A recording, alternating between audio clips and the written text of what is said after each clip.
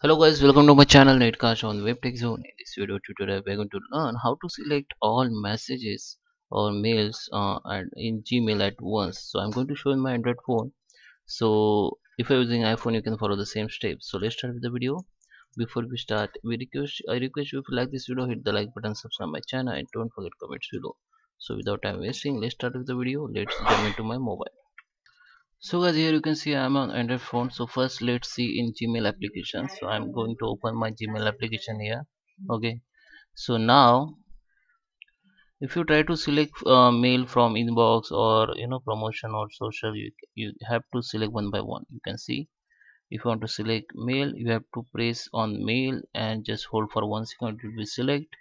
Now you can easily select all mail. Just you have to hold and press for one second it will be select. So you have to select every email. So in mobile or android phone you have you if you're using gmail application so so guys in gmail application there is no possible to select all messages or mail at once. So still if you want to select all messages by using your android phone or mobile so there is a one trick you can use. So just open your chrome browser in your phone. Okay so let it open. So you have to go in google. So this is my google account. So here you can see you have to click on this three dot. Click on three dot. Uh, before that you have to log in with your email id in which email id you want to use. Now go to the three dot and you have to click on desktop site. So it will be view like this. So now just zoom in and you have to go in gmail. Just click on this dot option navigate to your and just select your gmail application from here.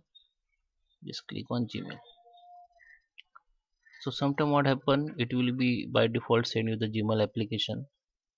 Okay. So guys after desktop site uh, uh, if you click on desktop site it will be you know your your mobile your gmail view uh, you can see like desktop now you have to go in inbox. Or there is a, your primary is in inbox. Now you can select here. So it will be select your all emails at first page. So in first page their maximum uh, email was is 50 i think. Yeah. So all conversation on these 50 are selected. But if you want to select all inbox email so you can you have to click on this you can see i in my inbox i had 254 conversation or messages. So if i click on it so now you can see all 254 conversation has been selected. Now you can delete it you can move it or you can unread it or read it easily. You can delete from here okay. So guys i hope it's help you.